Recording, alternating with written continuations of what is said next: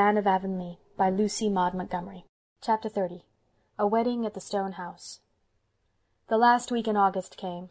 Miss Lavendar was to be married in it. Two weeks later Anne and Gilbert would leave for Redmond College. In a week's time Mrs. Rachel Lynde would move to Green Gables and set up her lares and penates in the erstwhile spare room, which was already prepared for her coming. She had sold all her superfluous household plenishings by auction, and was at present revelling in the congenial occupation of helping the Allans pack up. Mr. Allan was to preach his farewell sermon the next Sunday. The old order was changing rapidly to give place to the new, as Anne felt with a little sadness threading all her excitement and happiness. "Changes ain't totally pleasant, but they're excellent things," said Mr. Harrison philosophically. "Two years is about long enough for things to stay exactly the same. If they stayed put any longer they might grow mossy." Mr. Harrison was smoking on his veranda. His wife had self sacrificingly told that he might smoke in the house if he took care to sit by an open window. Mr. Harrison rewarded this concession by going outdoors altogether, to smoke in fine weather, and so mutual goodwill reigned. Anne had come over to ask Mrs. Harrison for some of her yellow dahlias. She and Diana were going through to Echo Lodge that evening to help Miss Lavendar and Charlotta the Fourth with their final preparations for the morrow's bridal. Miss Lavendar herself never had dahlias. She did not like them, and they would not have suited the fine retirement of her old-fashioned garden but flowers of any kind were rather scarce in Avonlea and the neighbouring districts that summer, thanks to Uncle Abe's storm, and Anne and Diana thought that a certain old cream-coloured stone jug, usually kept sacred to doughnuts, brimmed over with yellow dahlias, would be just the thing to set in a dim angle of the stone house stairs, against the dark background of red hall paper. "I suppose you'll be starting off for college in a fortnight's time," continued Mr. Harrison. "Well, we're going to miss you an awful lot, Emily and me. To be sure, Mrs. Lynde'll be over there in your place. There ain't nobody but a substitute can be found for them." The irony of Mr. Harrison's tone is quite untransferable to paper. In spite of his wife's intimacy with Mrs. Lynde, the best that could be said of the relationship between her and Mr. Harrison, even under the new regime, was that they preserved an armed neutrality. "Yes, I'm going," said Anne. "I'm very glad with my head, and very sorry with my heart." "I suppose you'll be scooping up all the honors that are lying round loose at Redmond?" "I may try for one or two of them," confessed Anne. But I don't care so much for things like that as I did two years ago. What I want to get out of my college course is some knowledge of the best way of living life and doing the most and best with it. I want to learn to understand and help other people and myself." Mr. Harrison nodded. "That's the idea exactly. That's what college ought to be for, instead of for turning out a lot of B.A.'s, so chock full of book learning and vanity that there ain't room for anything else. You're all right. College won't be able to do you much harm, I reckon. Diana and Anne drove over to Echo Lodge after tea, taking with them all the flowery spoil that several predatory expeditions in their own and their neighbours' gardens had yielded. They found the stone house agog with excitement. Charlotta the Fourth was flying around with such vim and briskness that her blue bows seemed really to possess the power of being everywhere at once. Like the helmet of Navarre, Charlotta's blue bows waved ever in the thickest of the fray. "Praise be to goodness you've come," she said devoutly, "for there's heaps of things to do, and the frosting on that cake won't harden, and there's all the silver to be rubbed up yet, and the horsehair trunk to be packed, and the roosters for the chicken salad are running out there beyond the hen house yet, crowing, Miss Shirley, ma'am, and Miss Lavendar ain't to be trusted to do a thing. I was thankful when Mr. Irving came a few minutes ago and took her off for a walk in the woods. Courting's all right in its place, Miss Shirley, ma'am, but if you try to mix it up with cooking and scouring, everything's spoiled. That's my opinion, Miss Shirley, ma'am. Anne and Diana worked so heartily that by ten o'clock even Charlotta the Fourth was satisfied. She braided her hair in innumerable plaits, and took her weary little bones off to bed. "But I'm sure I shan't sleep a blessed wink, Miss Shirley, ma'am, for fear that something'll go wrong at the last minute. The cream won't whip, or Mr. Irving'll have a stroke and not be able to come." "He isn't in the habit of having strokes, is he?" asked Diana, the dimpled corners of her mouth twitching. To Diana, Charlotta the Fourth was, if not exactly a thing of beauty, certainly a joy forever. "They're not things that go by habit," said Charlotta the Fourth with dignity. "They just happen, and there you are. Anybody can have a stroke. You don't have to learn how. Mr. Irving looks a lot like an uncle of mine that had one once, just as he was sitting down to dinner one day. But maybe everything'll go all right. In this world you've just got to hope for the best and prepare for the worst and take whatever God sends." "The only thing I'm worried about is that it won't be fine tomorrow," said Diana. Uncle Abe predicted rain for the middle of the week, and ever since that big storm I can't help believing there's a good deal in what Uncle Abe says."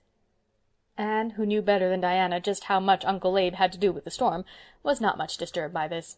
She slept the sleep of the just and weary, and was roused at an unearthly hour by Charlotta the Fourth. "Oh, Miss Shirley, ma'am, it's awful to call you so early," came wailing through the keyhole, "but there's so much to do yet, and oh, Miss Shirley, ma'am, I'm skeered it's going to rain, and I wish you'd get up and tell me you think it ain't." Anne flew to the window, hoping against hope that Charlotta the Fourth was saying this merely by way of rousing her effectually, but alas! the morning did look unpropitious. Below the window Miss Lavendar's garden, which should have been a glory of pale virgin sunshine, lay dim and windless, and the sky over the firs was dark with moody clouds. "Isn't it too mean?" said Diana. "We must hope for the best," said Anne determinedly. "If it only doesn't actually rain, a cool pearly grey day like this would really be nicer than hot sunshine." "But it WILL rain," mourned Charlotta, creeping into the room, a figure of fun with her many braids wound about her head, the ends tied up with white thread sticking out in all directions.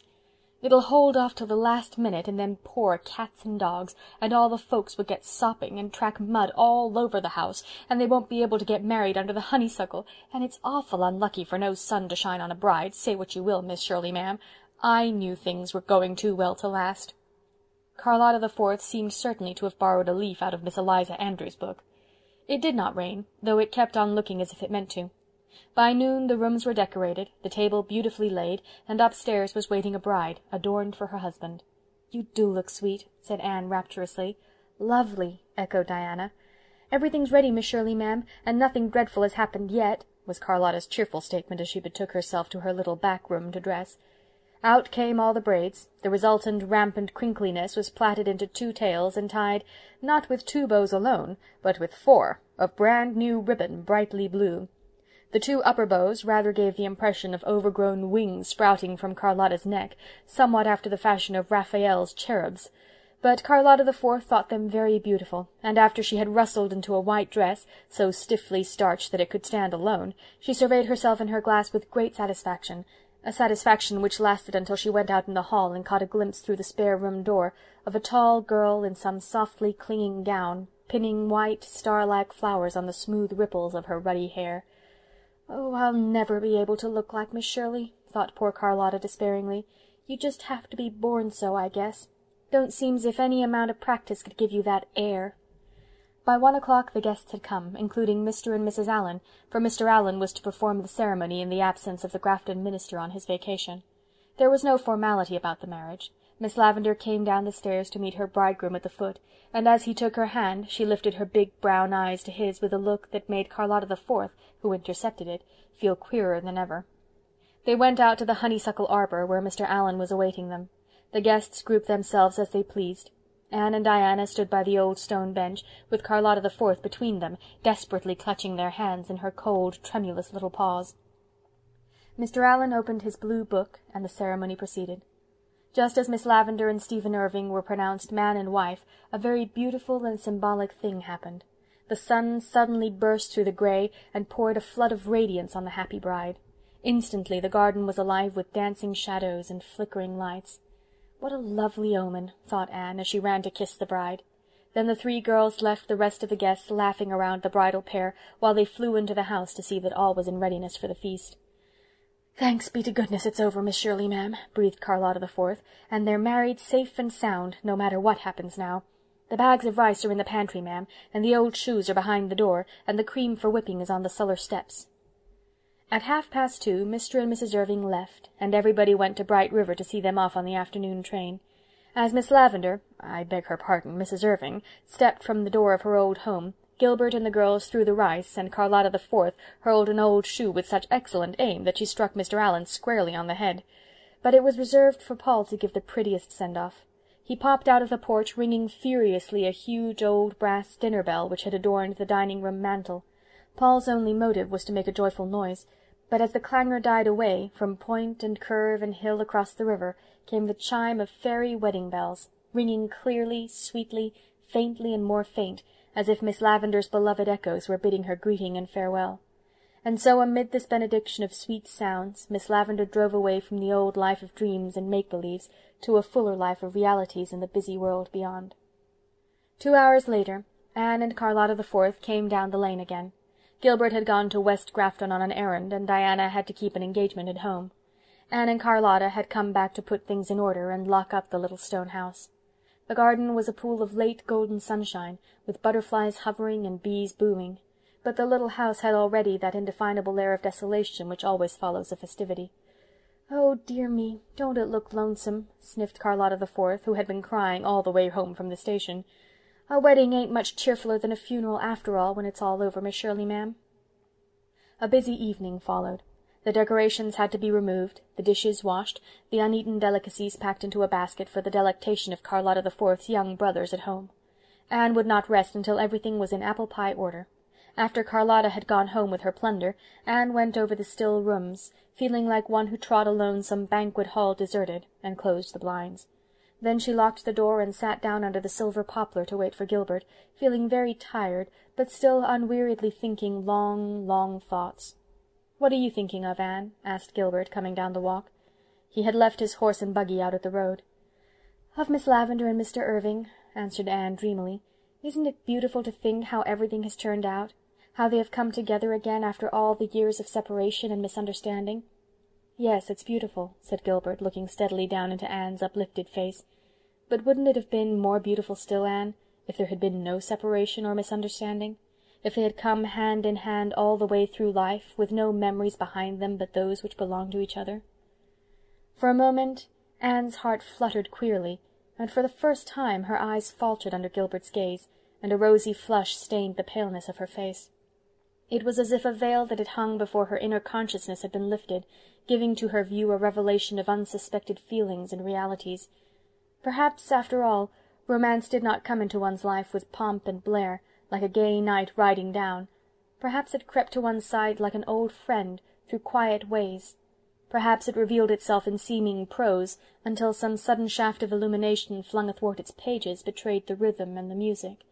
Perhaps Perhaps love unfolded naturally out of a beautiful friendship, as a golden-hearted rose slipping from its green sheath. Then the veil dropped again, but the Anne who walked up the dark lane was not quite the same Anne who had driven gaily down it the evening before. The page of girlhood had been turned as by an unseen finger, and the page of womanhood was before her with all its charm and mystery, its pain and gladness. Gilbert wisely said nothing more but in his silence he read the history of the next four years in the light of Anne's remembered blush. Four years of earnest, happy work, and then the guerdon of a useful knowledge gained and a sweet heart won. Behind them in the garden the little stone house brooded among the shadows. It was lonely but not forsaken. It had not yet done with dreams and laughter and the joy of life. There were to be future summers for the little stone house. Meanwhile it could wait. And over the river in purple durance the echoes bided their time. End of Chapter 30 End of Anne of Avonlea by Lucy Maud Montgomery